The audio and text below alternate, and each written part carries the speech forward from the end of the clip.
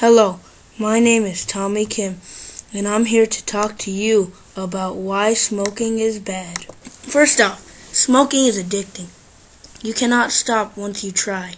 When kids and people try to smoke once, they get addicted and end up never stopping. Some people wonder why smoking is so addicting. A drug called nicotine inside the cigarette is the addiction drug. If people are going to stop smoking, it will be very hard. To stop smoking, they try to throw away their cigarettes but end up buying them again because they go crazy due to the addiction.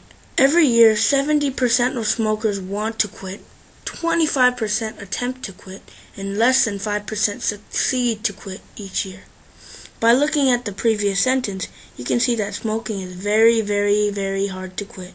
Out of 1,100 smokers, they are saying that 55 smokers will quit 350 will try to quit, and 700 want to quit.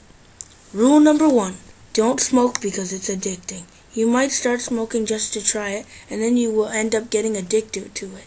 So never smoke. Rule number two don't smoke because it affects long life.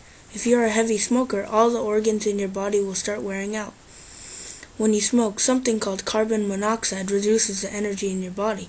Therefore, this can lead to many health problems like heart failure, heart attacks, kidney failure, high blood pressure, and lung cancer. Lung cancer.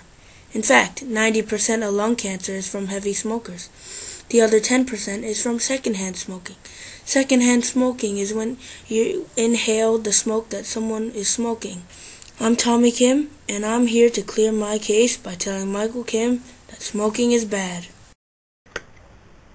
Dude, are you kidding? There are many good things of smoking too. Back in the 50s, doctors actually gave cigarettes to patients to calm them down. It is true that smoking relieves you from all stress. It is scientifically proven that one cigarette won't do anything at all to your body. Another thing that smoking does for your body is that it increases their concentration, the smoker's concentration. Kind of obvious that the coolest people in the world are smokers. Smokers just, smokers are just cool, man. Just plain cool. If you are saying, oh, smoking causes lung cancer and heart attacks, well, smokers have a lower chance of getting heart attacks than non-smokers. And many non-smokers get those diseases too, you know. And then after that, you would probably be like, then it's secondhand smoking that causes these diseases.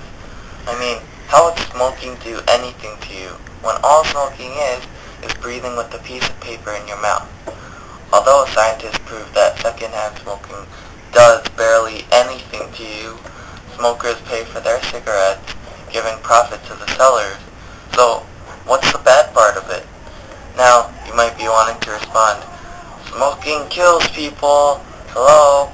And my response to that is that tons of non-smokers die every day too not only smokers. The ingredients in cigarettes are also in our everyday vegetables. The healthy, the, oh, you must eat this vegetable thing. You know, nicotine, which is the drug that causes the addiction, is in various vaccines for various diseases. Also, Stanford researchers have discovered that nicotine actually helps new blood vessel growth. If you think smoking is bad, bottle of wine is 32 through 40 times worse than a whole box of cigarettes. Sick smokers may burden a country's healthcare system, but dead smokers save government's money. Therefore, I think that there are many more advantages than disadvantages of smoking. Yo, are you smoking, man? Yeah, yeah. Why not? Dude, do you know what smoking does to you? Nothing. It kills people and gives you lung cancer. What? I don't care. 90% of lung cancer is from smoking. So? Therefore, I think smoking should be banned in local areas. I, I really don't think so. Alright, let's take this inside. What?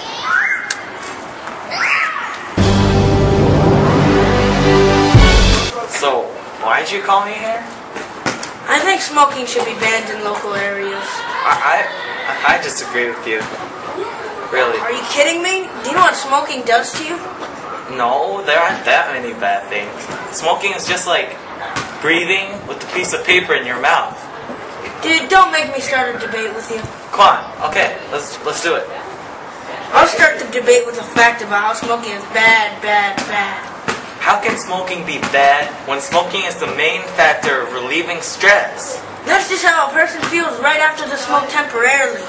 Well, why don't you defend yourself, huh? After trying it once to relieve stress, they get addicted to it. How would you get addicted? I mean, if a person if a person wants to stop, he or she will stop. Do you know what's inside the cigarette? Well, uh, nicotine. Yup, nicotine, that's right. Well, what, what what's that? Nicotine, nicotine's a drug that makes smoking very addicting and unstoppable for the smoker to stop. Wait, wait a minute. Nicotine? That's the drug that's in the vaccine for brain disease. Well, it's really addicted for smoke, addicting for smokers.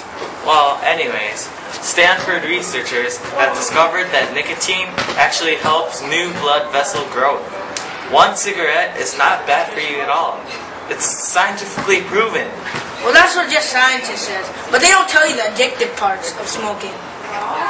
Wait, but one bottle of wine I heard is 32 through 40 times worse than smoking a whole box of cigarettes. Then don't drink wine. Well, did you know that doctors in the 50s gave cigarettes to patients to relieve them from all their stress?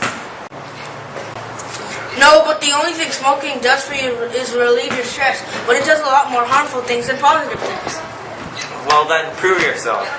90% of lung cancer is from smoking, hello? But then that's not the only reason for lung cancer, right? The other 10% of lung cancer patients are probably from secondhand smoking. Secondhand smoking barely does anything to your lungs. Now, why do people die of lung cancer and heart attacks every single day? Well, scientists have tested it, and smokers actually have a lower chance of getting heart attacks than non-smokers. Plus, there is a higher percentage of non-smokers dying than smokers. Anyways, man, smoking doesn't only give you lung cancer, but also gives you cardiovascular diseases, such as coronary thrombosis, kidney failure, and high blood pressure. A bunch of non-smokers die from those diseases too, right?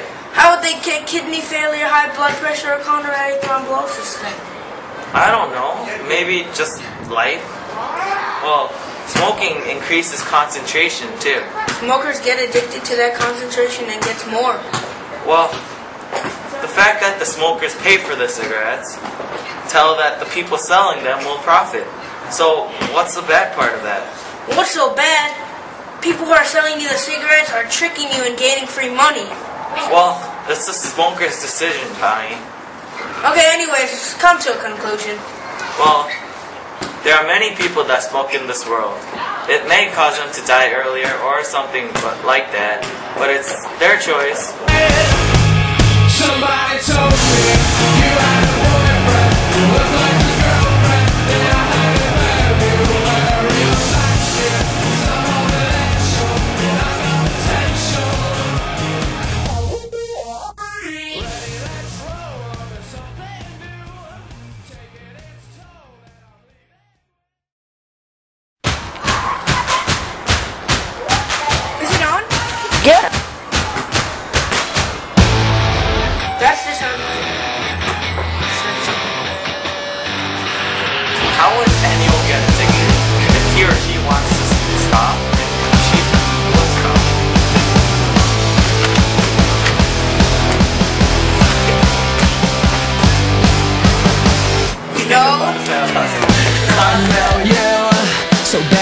the city